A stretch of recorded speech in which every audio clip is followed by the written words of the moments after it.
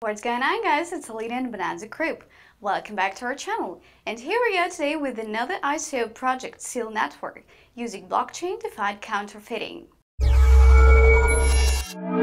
The rapid development of the internet, which we have been seeing lately, has enabled businesses with tools for global outreach and partnerships across the world. Despite the new opportunities this has provided to fair players, the global market faced new threats as well, one such as quickly growing production and circulation of counterfeits. As a result, global blue chip companies now lose revenue and have to struggle for their reputation, while customers are in danger of losing money and sometimes held by consuming inauthentic products. The Seal project aims to be blockchain-based solution of this problem. The platform offered by Seal is designed to enable product authentication with blockchain and related services. They suggest incorporating dynamic near-field communication chips into the manufacturing process of each authentic item so that customers can identify it with their smartphone. NFC chips provide better security than static QR codes and RFID. Seal wants to equip customers and manufacturers with an instrument allowing to secure a deal between them. Manufacturers will have useful insights on each authentic copies such as in which country it's traded, how frequently it changes owners, and so on. As for end consumers, they will be enabled to check the authenticity of a product when buying it and register their ownership to prevent theft, for insurance, and to allow P2P transactions. The seal tokens are used by brands and users to pay for the additional services.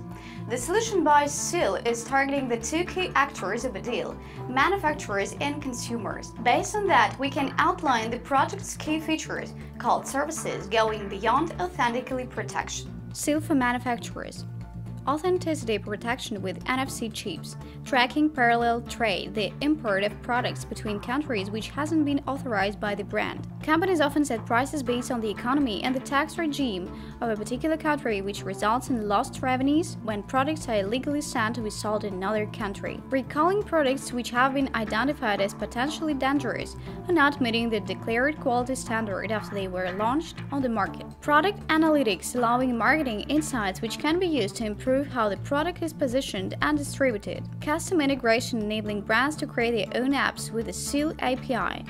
This is supposed to help companies achieve their specific goals. Ownership transfer when a consumer sells an item equipped with a chip, the brand earns money. Seal for end consumers. Authenticity verification with a mobile app or custom application of a brand. Ownership registration, which is useful for insurance, helps prevent theft and enables P2P transactions retrieval of stolen or lost items, and theft prevention. In case of losing or stealing, the owner can flag their item respectively with the Seal app.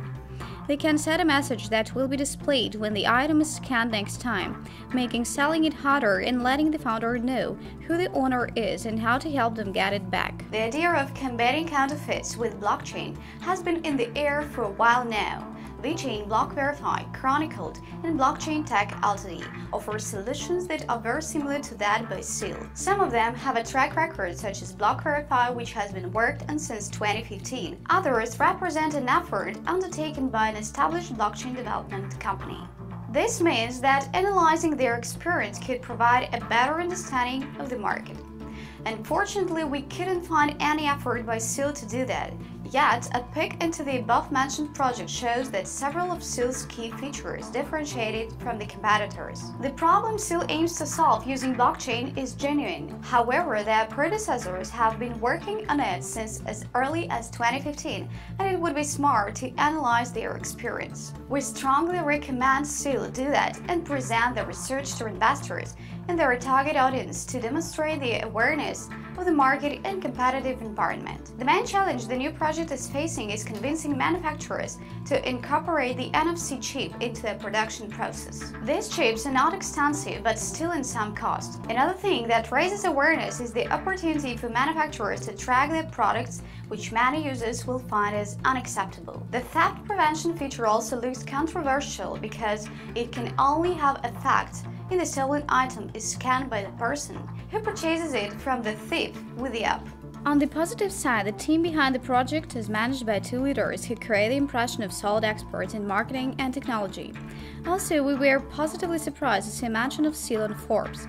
One feature that helps Seal stand out from the crowd is enabling brands to earn on the secondary market when their product changes hands. They have already reached the soft cap, which indicates interest by the community. Taking all that, we believe that Seal is worth watching. Please note that this review about Bonanza Kreep is all opinion and analysis, not investment advice. Please follow the links which you can find in the description to the video. Don't forget to subscribe to the channel and let us know what you think in the comments. It was Bonanza Kreep. See you guys.